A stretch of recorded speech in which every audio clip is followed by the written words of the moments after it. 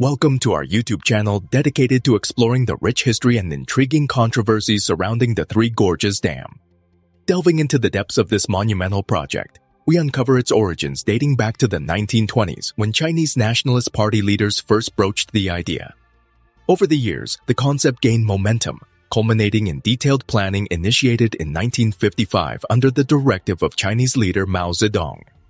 Despite its proponents touting benefits such as flood control, enhanced trade, and crucial power generation for central China, the dam faced persistent criticism.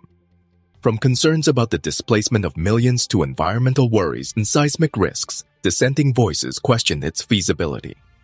This channel aims to unravel the complexities surrounding the Three Gorges Dam, examining the decades-long journey from inception to completion navigating through controversies and shedding light on its multifaceted impact on society and the environment. Join us as we embark on a fascinating exploration of one of the world's most ambitious engineering feats.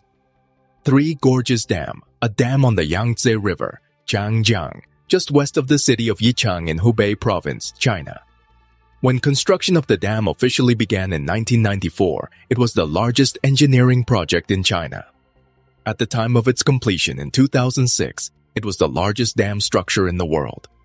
The dam and accompanying hydroelectric plant were built in phases and over many years. It reached its full generating capacity in 2012. The dam allows the navigation of ocean-going freighters and generates hydroelectric power. It was also intended to protect from floods, but efficacy on this point is unclear and has been debated. While the construction of the Three Gorges Dam was an engineering feat, it has also been fraught with controversy. Construction of the dam caused the displacement of at least 1.3 million people and the destruction of natural features and countless rare architectural and archaeological sites. The dam's reservoir is blamed for an increase in the number of landslides and earthquakes in the region. Physical description and capacity of the Three Gorges Dam a straight-crested concrete gravity structure, the Three Gorges Dam is 2,335 meters, 7,660 feet long with a maximum height of 185 meters, 607 feet. It incorporates 28 million cubic meters, 37 million cubic yards of concrete and 463,000 metric tons of steel into its design submerging large areas of the Qutang, Wu, and Xiling gorges for some 600 kilometers, 375 miles upstream. The dam has created an immense deep water reservoir allowing ocean-going freighters to navigate 2,250 kilometers, 1,400 miles inland from Shanghai on the East China Sea to the inland city of Chongqing. Navigation of the dam and reservoir is facilitated by the five-tier ship locks at both ends of the complex, which allow vessels of up to 10,000 tons to navigate past the dam, and the ship lift, which allows vessels of up to 3,000 tons to bypass the ship locks and travel past the dam more quickly. At the time of its completion in late 2015, the lift, which was 120 meters, 394 feet long, 18 meters, 59 feet wide, and 3.5 meters, 11 feet deep, was the largest ship lift in the world. Limited hydroelectric power production began in 2003 and gradually increased as additional turbine generators came online over the years until 2012 when all of the dam's 32 turbine generator units were operating. Those units, along with two additional generators, gave the dam the capacity to generate 22,500 megawatts of electricity, making it the most productive hydroelectric dam in the world. In 2020, the hydroelectric plant produced 111.88 terawatt hours, setting a new world record for annual power generation volume. The dam was also intended to protect millions of people from the periodic flooding that plagues the Yangtze Basin. However, just how effective it has been in this regard has been debated. In 2020, China experienced its heaviest floods in more than three decades, and the dam's reservoir neared maximum capacity, reaching the highest level since it began retaining water in 2003.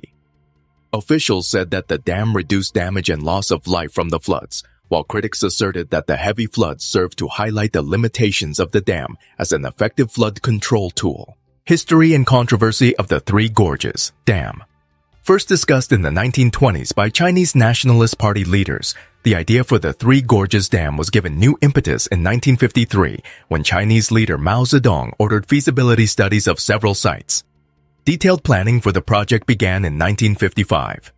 Its proponents insisted it would control disastrous flooding along the Yangtze, facilitate inland trade, and provide much needed power for central China, but the dam was not without its detractors. Criticisms of the Three Gorges project began as soon as the plans were proposed and continued through its construction. Key problems included the danger of dam collapse, the displacement of some 1.3 million people. Critics insisted the figure was 1.9 million, living in more than 1,500 cities, towns, and villages along the river, and the destruction of magnificent scenery and countless rare architectural and archaeological sites. There were also fears, some of which were borne out, that human and industrial waste from cities would pollute the reservoir and even that the huge amount of water impounded in the reservoir could trigger earthquakes and landslides.